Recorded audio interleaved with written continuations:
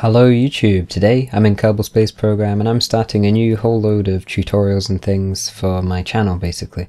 Because um, the old ones were a bit old and I've got some better equipment now and things like that so I can make it sound a lot nicer and generally be a bit nicer to watch. I've also increased the user interface size and things to make it a little bit nicer to watch again and easier to follow as well. So this tutorial, as you may have guessed by the title, is on putting something into an orbit, a reasonably circular orbit, but it's not going to be too picky, and it's going to be a reasonably basic tutorial. I'm not going to presume you know anything, anything too difficult, essentially. So you can see here, if you've played the game a lot, this rocket here is one of the stock rockets, so you don't even have to build anything for this tutorial, and it is called the Z-Map Satellite Launch Kit. So this lets you make um, put this little satellite into orbit basically, that's the whole idea. Anyway, the first thing we need to do is hold down shift to throttle up. In case you don't know, control and shift are what you use to, to control the throttle. You can also hit X to cut the throttle if you need to turn it off really quickly. And um, we're going to hit T because that turns on stability control or SAS. And you'll know if that's on because there's a light that appears on your nav ball, which is this thing here. Anyway, this rocket actually appears to not launch all of its rockets at once at the same time as it splits off, so we're going to set it so it does by moving all of the uh, rockets that we want to go at the start into this first stage here, and then we're ready to go, so all we need to do is hit space. So now we're literally just, um, you know, waiting for the rocket to get to a certain altitude. I think we're going to go about 10 kilometers, that's the sort of standard um, distance that we go in height, and then we're going to start doing what's called a gravity turn, which is essentially the most efficient way of uh, pitching uh, to the side. We're going to pitch eastwards, and you know, getting yourself um, some horizontal velocity. So I'm not going to go too much detail into that, but uh, I'll show you what you have to do. So we're just going full throttle at the moment. This isn't really the most efficient way to do things. We could go, you know, cut the throttle a little bit like I'm doing now because the air is still quite thick at this point and it's not really worth wasting all that fuel pushing through the really thick air when you could go a little bit slower and save quite a lot more fuel. Anyway, now we get to 10 kilometers up, so 10,000 meters up, and we're just going to start to use the D key to pitch or tilt over to around 45 degrees. Um, you start your tilt at around 10 kilometers. It doesn't matter though if you're a bit later than that. You don't want to go much earlier than that though, because uh, then it just starts to become inefficient. So we're going to tilt to 45 degrees, like you can see there, it's at around 45 degrees. And you know that by the fact that it's on the 45 degrees ring around the nav ball, which you can see I'm on now. That green marker there, that's our prograde vector. That essentially is the direction on the nav ball that our ship is actually travelling rather than the direction it's pointing because gravity's pulling us down a little bit so we're going a little bit more downwards than uh, we're actually pointing.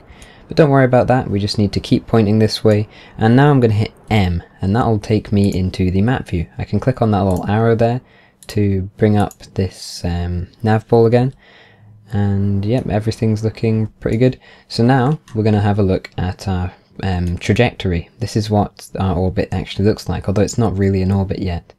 And what we're essentially doing is keeping on burning in this same direction till our apoapsis, which is the highest predicted point in our orbit, gets to above 70 kilometers, because that's where the atmosphere stops. But we're going to go for around 85, 86, there we go. Looks pretty good. And uh, then all we're going to do is uh, wait, basically, until we get a lot closer. Now you'll see I'm not actually hovering over the apoapsis there to make it appear. You can actually just click on it.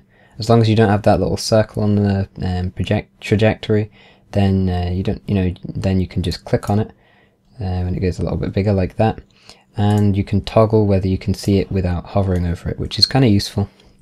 Anyway, if you look out of the map view now, you'll see our rocket, and we're running out of fuel in this first stage, but uh, that doesn't really matter, we've got plenty of fuel and plenty of delta V, which is essentially the amount that you can change your velocity or the amount you can speed yourself up or slow yourself down.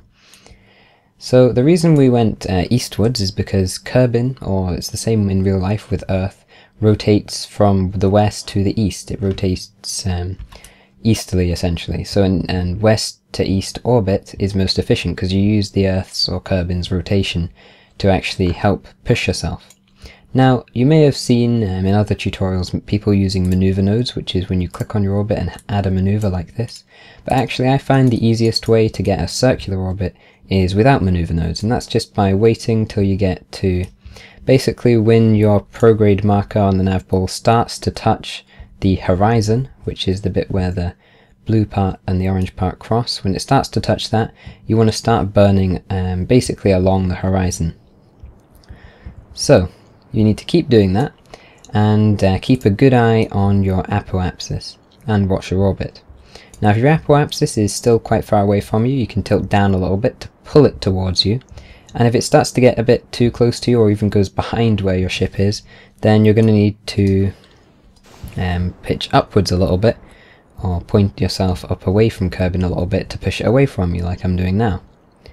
Anyway, you need to keep that just pretty much around where you are. If you can get it perfectly on your ship, then that's perfect, but it doesn't matter too much if it's not quite there. Um, it's usually better if it's a little bit in front than it is a little bit behind because it's easier to bring it towards you than it is to push it away from you. And now you'll see there our periapsis has appeared, which is the lowest predicted point in our orbit. And we just need to keep burning just gently until those start to rapidly spin around, which means that we've got a pretty circular orbit. That means that they're trying to swap places because this was the highest point in our orbit, but now it's becoming the lowest point in our orbit because uh, we're pushing our highest point away by burning like that, you see? So the more I burn now, if I burn at my periapsis, I'll increase my apoapsis, and if I burn at my apoapsis, I'll increase my periapsis. But I'll maybe do another um, video on basic orbiting later on. That's it for this tutorial though, um, I hope it helped you. If it did, did, then it'd be awesome if you could give this video a thumbs up or a favourite, because that really helps me. And uh, thanks for watching, and have a nice day.